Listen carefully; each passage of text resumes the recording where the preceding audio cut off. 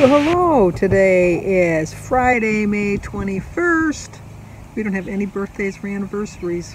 Nobody let me know anything that was going on, so I don't know what to tell you. Uh, I did have a doctor's appointment this morning at 8.15. I left the house at 7.30. I got up at 7.10. This girl's tired. I did try to go to bed earlier. I did go to bed at midnight and tossed and turned till about 1.30. So I should have just stayed up till 1.30. But I do see a nap in my future. But um, I did my highlight meetings and if you watched that you saw that I gained 2.8 pounds. Totally expected. If I would have weighed myself today it would have been even more because I had a pretty good sized meal yesterday. But uh, today it's back to basics. That's my plan. I'm back to basics. I got my tracker out again. I got my scale out. I made sure all my measuring cups were clean. I have like three or four sets of different sizes. So I, I, have no excuses because if I go through the one set of measuring cups, I got another set of measuring cups. I got my measuring spoons out. I have like three sets of those. So I got those all ready to go.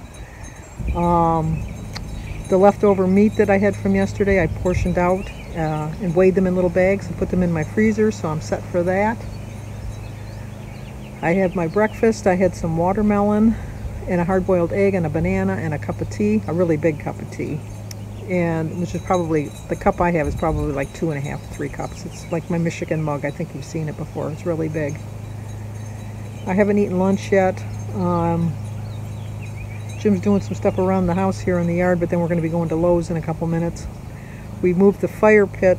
We had like a gas grill fire pit that was on the back deck. It took up a lot of room. So I said, why don't we just put the little table that we had out in the front, put that back here, and put that thing. So David and uh, Josh moved that yesterday after we got done eating dinner.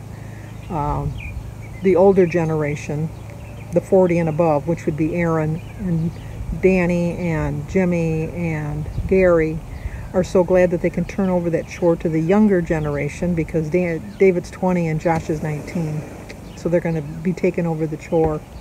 And there's Jim. Are we ready to go? I'm ready to go. All right. You want to say hi? Say hi. There's Jim. I will be back. We'll talk a little bit more. And Jim bought me a little birdie to put in my planter. In my bike planter.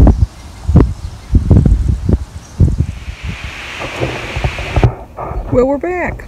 Let me fix you here. I have you sitting on my lap. There's plenty of room. It's a grandma lap. There's lots of room on a grandma lap. Um, as you can see, Jim bought me something while we were out. I wanted to, when we were looking at, uh, he wanted to look at the uh, gazebos just to compare them to the one we're going to get. Ours is getting delivered on Monday. And uh, there were some people in there. Jim was like the regular salesperson talking him into going to BJ's to get it because it was a better deal. So they said thank you. So as we were walking by the plants, they had a, a pinwheel um, a patriotic pinwheel in one of the things that was like a dollar ninety-nine. I told Jim, I said, you can buy this for me. And uh, he says, well, I can get you something even better than that. And I go, well, let me look and see what you're talking about. So then he brought me to the hummingbird section where all the patriotic flags and things like that were. And he found that little bird with the little wings, which was $8.99. I would never pay $8.99 for that. But Jim wanted to buy it for me. And so I said, I accept. So we have that. I have that. I showed you. I showed you already. What are you talking? Don't confuse me. I've already shown you. And then, uh, I don't know how much I told you about my doctor's visit. My, my appointment was at 8.15. And I got there and I, you know, you have to go up to the door and call and let them know you're there. And I always think my car is a, a Focus. It's a Fusion. I always call it a Focus. And so uh, I had backed into my parking spot and I went up to the door and called. And uh, she said, well, what kind of car do you have? And I said, I have a Ford Focus. And so she says, okay, you know, somebody will be out to take your temperature and, you know, see how you're doing and all that. And I said, okay. So then I'm sitting in my car and there's all these silver cars. They must have been a popular color. I don't know why, but there was like four of us sitting in the parking lot. There's, not, there's more than one doctor in this office. And uh, I see this girl walking back and forth, and then I'm thinking, did I say Focus? And so I roll my window down and I said, are you looking for a Focus? And she said, yeah. And I go, that'd be me. It's a Fusion. She says, oh, I, you know, she says, I, I thought I knew my cars. I go, yeah, obviously I don't. But so she came over and I, obviously I was fine with everything. And I went in and so they're just doing the usual blood work. Um, I told her about my struggles with my weight lately. I would say 90, yeah, let's be honest, 95% of it is I'm just not choosing properly. I'm just choosing all the wrong foods. But I want that slight 5% chance. I did bring it up that I was having a little bit of struggles with my weight. And uh, so she looked at the scans that I did with the thyroid doctor, and she said, well, he, she, he didn't test you for your levels. He just did your parathyroid, which is fine, which I told you that was fine. They're still watching it, but, you know, for now it's fine. And um, so she says, well, you know, that could, that could play into it. She says, you've been feeling kind of moody lately, too? And I go, yeah, I kind of have been. I'm not sad, not I'm not depressed, just kind of, you know, kind of down. And she says, well, some of it is like because with the pandemic, everybody was home, and you know, like it was just like really hard for everybody, and so that like you're so excited now that you can see people, and now you're kind of realizing and getting back to reality, and you're kind of coming crashing down. So she said she's seen a lot of that. I don't think that has anything to do with me, but you know, because I told her, I says, I don't know what I'm so sad about. I, I've I got my family back. We're all vaccinated. We're, we're having our family dinners again. I can see everybody. You know, I've got a new established hug uh, thing going on that I hug people, which I didn't do before. I says, but it's just like, I'm just like, I'm, she says, it's the typical crashing down to earth. She says, it, you'll level out. Don't worry about it. She says, just stay with it.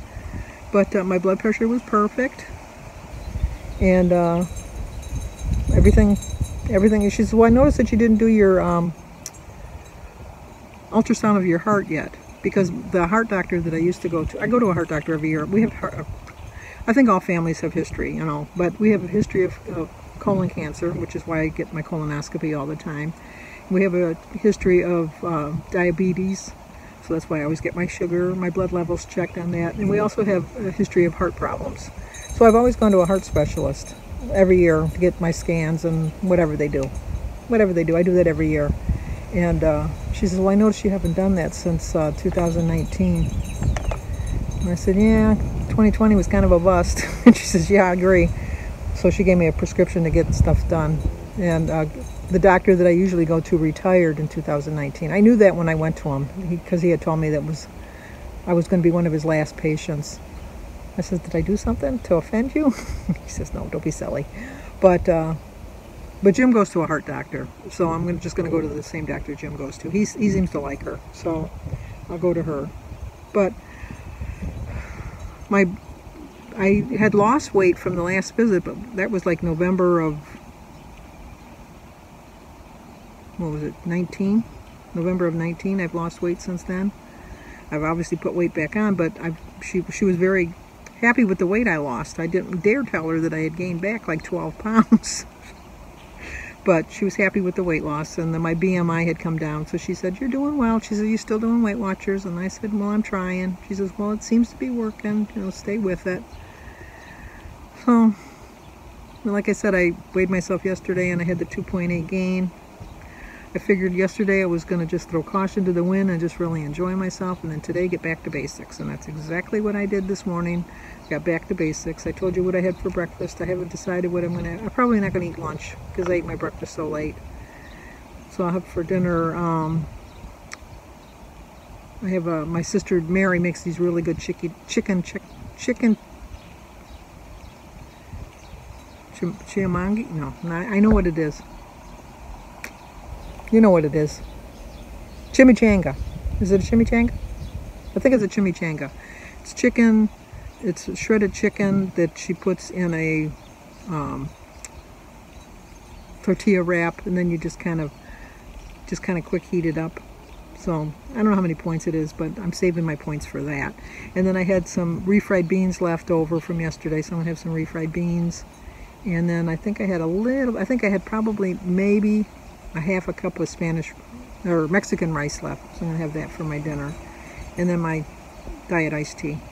But um, the Weight Watchers group that I do belong to, where I used to go when I went for my meetings. Come here a minute. I gotta go. I'll be right back.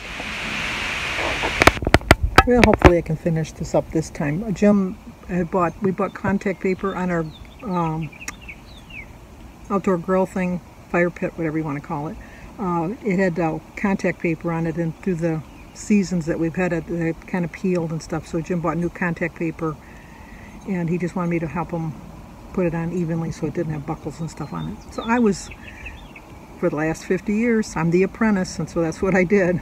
So I helped him out. So he's still got, I think he's got three more to do. One done. We'll see how that goes.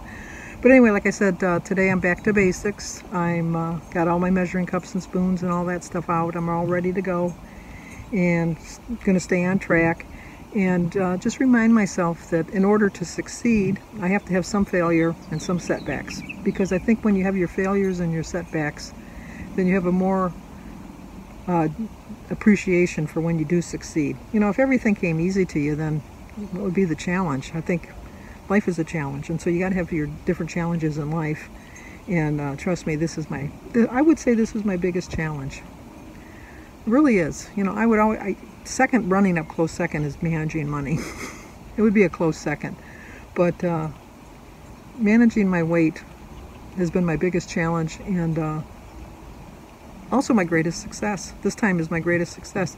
I've always been successful in losing weight in the past, but I haven't been successful in keeping it off. And even though I've gained some weight back, I think I'm still pretty successful as far as nipping it right away, catching it as quick as I have. Because uh, in the past, I would have just given up by now. I would have seen I gained 13 pounds and I would have thought, you know, what's the point? You're going to gain your weight back anyhow. You might as well enjoy yourself. No, I'm not going to do that. I'm going to learn from my failures and my setbacks. And that's going to lead me to my success. It really is. But um, like I was saying, that my group that I belong to was when I went for meetings. It's called Denise's Den, and it's a Facebook group. And she puts like little inspiration things on there. And today she put um, what you need to really be successful in your weight loss. And I thought, what a better day is the day I'm getting back to basics. So the very first thing is listed in really big, big, big letters is patience. It's like they're speaking to me because I don't have patience. You know that. I don't have patience. I try and I try and I try and I try. But obviously I must have a little bit of patience because I haven't given up. So uh, the next thing they tell you to do is have a calorie deficit. I have not been having too many calorie deficits lately. I've been eating way more calories than my body needs to sustain itself. So I need to um, cut back on my calories a little bit. I'm not a calorie counter, but it doesn't take a genius to figure out that if you have a piece of cake in the morning and then you have a brownie at lunch and then you have a donut at dinner, it's too many calories. so um, I have to do, do that. The next thing is to eat some adequate protein. Um, I do have, like I said in my um, eating highlights, I do have, I eat a lot of chicken and I do eat um, an egg every day, but I probably don't eat enough protein. And, protein is very filling, and so I, I do, I have protein products in my house, I just don't get them out and put them on my plate. So I, I have to work on that a little bit more. Uh, the next thing is patience. I think there's going to have a theme here, is, um, yeah, patience. Then uh, the next thing they tell us is strength training.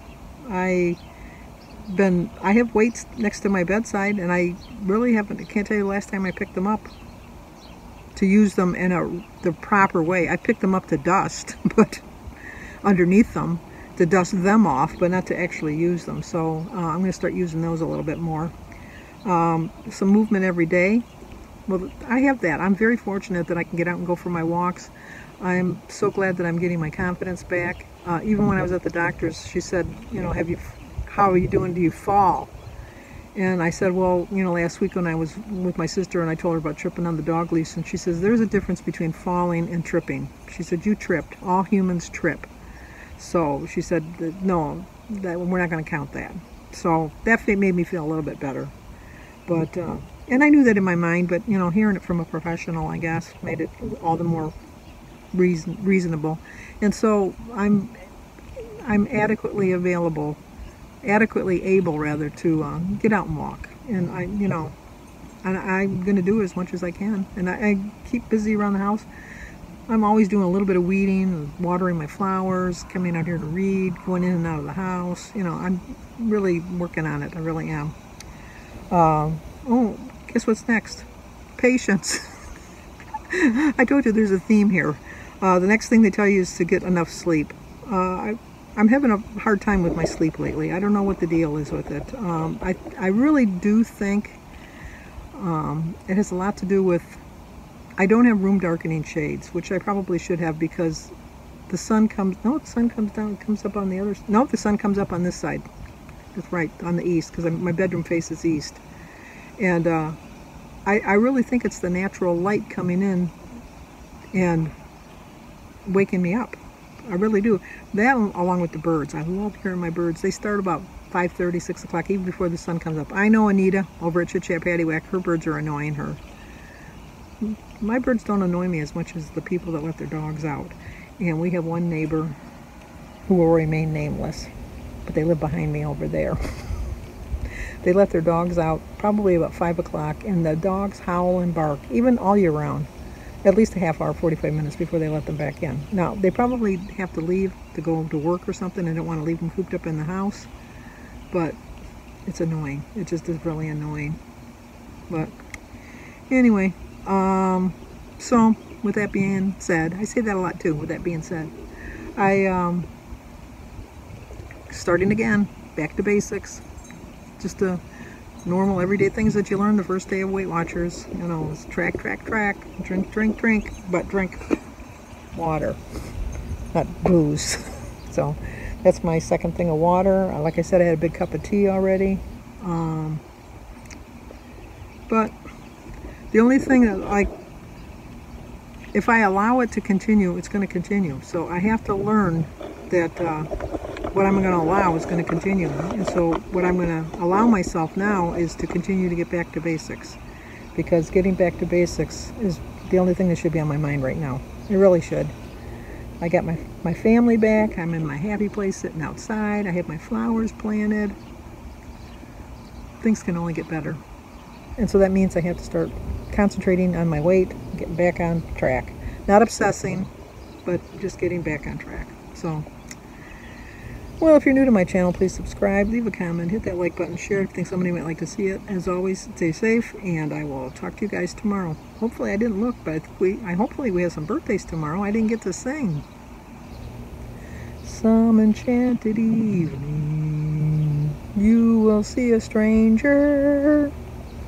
You will see a stranger across the crowded room. Okay, I got my song in. Talk to you guys later.